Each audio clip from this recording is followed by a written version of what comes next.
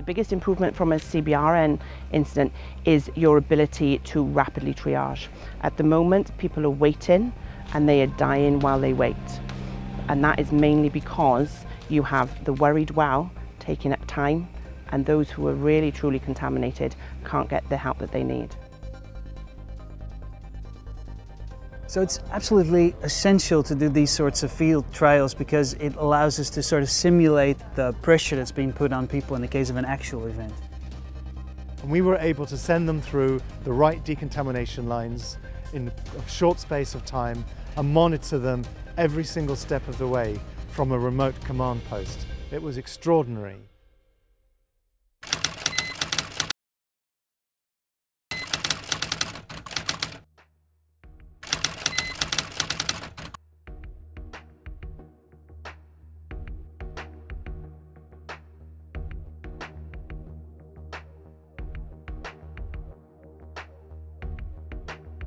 You saw the drones flying, you saw the breath analysis, you saw the tag and trace, you saw the sensors, you saw the system, and we saw the data coming in.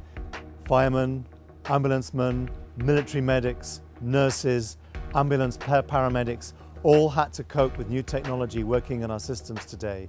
They were wonderful and they created a huge wealth of information and they taught us so much about how we're going to get it better in the future and how what we're accomplishing now is already awesome.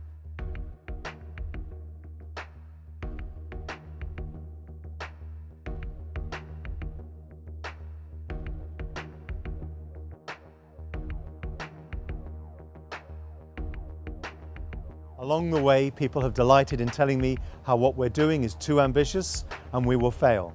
But you cannot fail to learn.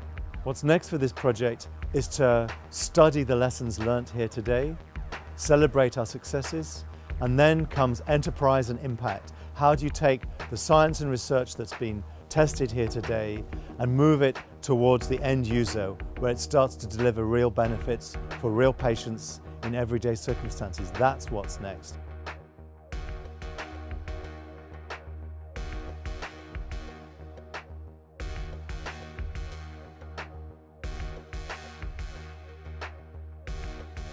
So my uh, overwhelming sense is one of gratitude to everyone who's been involved. And uh, I think that's all I want to say.